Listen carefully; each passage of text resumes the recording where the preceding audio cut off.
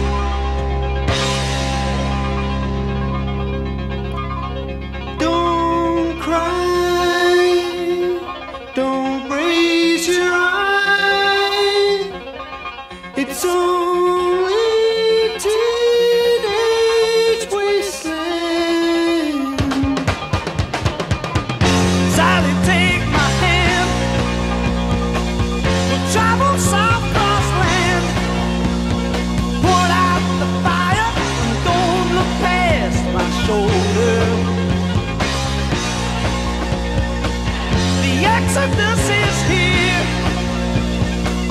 The happy one.